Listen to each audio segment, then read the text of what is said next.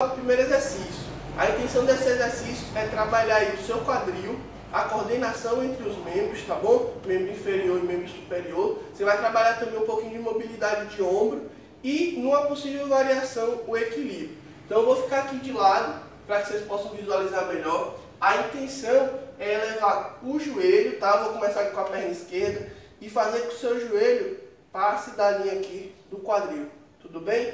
E à medida que você eleva, ó, coordena com a perna contrária, tá certo?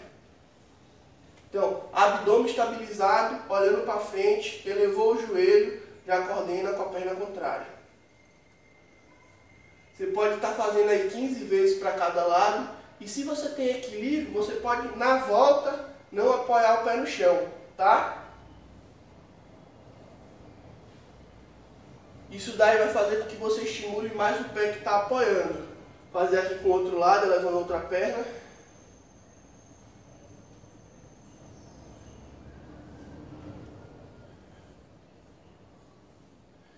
Uma variação seria também você fazer elevando o joelho e estendendo a perna atrás, desse jeito.